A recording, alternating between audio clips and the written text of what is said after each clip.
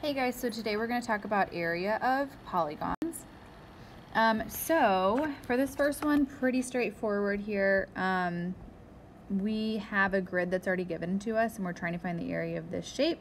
So I'm going to go ahead and separate it into sections so that it's very easy for us to find the area. And to figure out the lengths, we're just going to count the blocks. So if I look at the uh, top part here of this first one, that would have a measurement of three. And then if we go down the side here, count how many blocks, one, two, it's one, two, three, four, five. So that would have a measurement of five. Okay. And then um, let's take a look at the, our other shapes that we have here. So this one right here, that would be a one for one of the sides. And then we go long, that would be two. Oopsies. Two. And then go ahead and label the other one. That would be a two by two. Okay, so we have three uh, rectangles here. We have rectangle A, rectangle B, and rectangle C. So what I'm going to do is I'm going to start with my rectangle A. We're going to find the area of rectangle A. So that, to find the area, remember is length times width. So we're going to do 5 times 3, which tells me the area of rectangle A would be 15. Now let's find the area of rectangle B. So area here would be 1 times 2. And again, we're looking over here change the color here. We're looking at B, which is over here, right? That's a 1 by 2, so 1 times 2. 1 times 2 is 2, so the area of angle or of rectangle B is 2.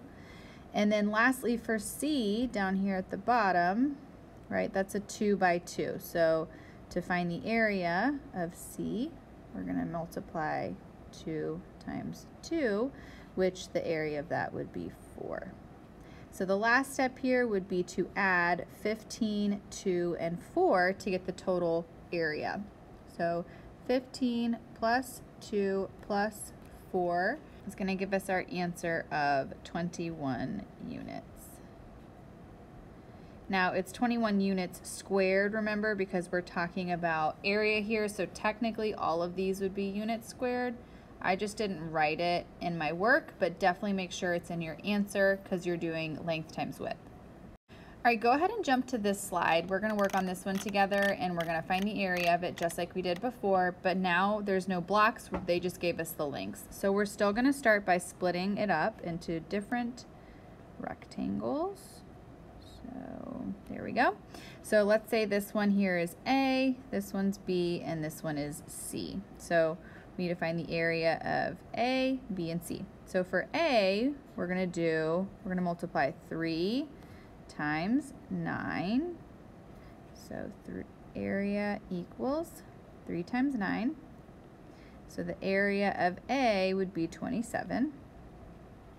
For B,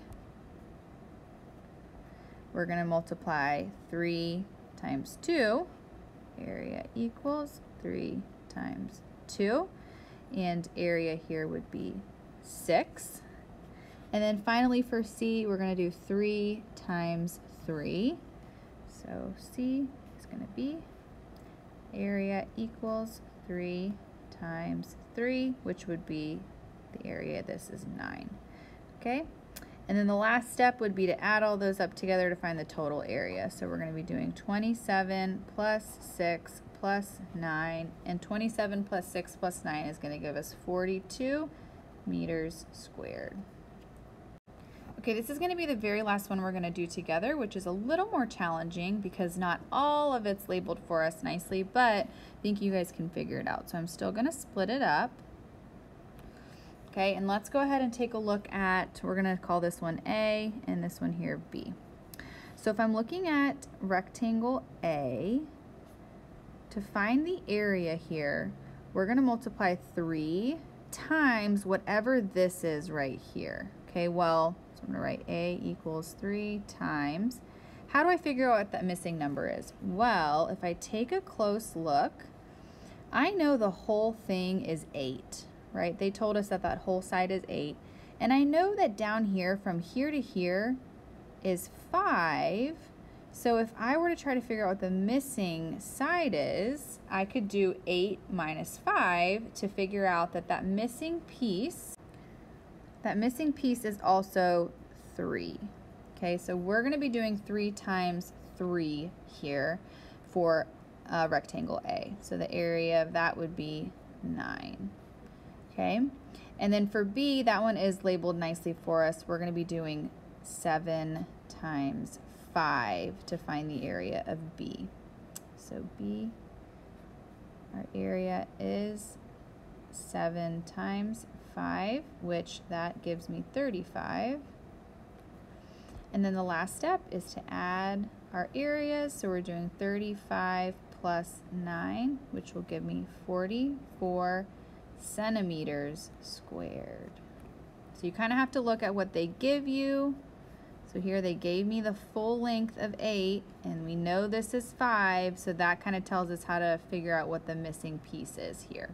So try the other ones on this, and when you are done, please check the key.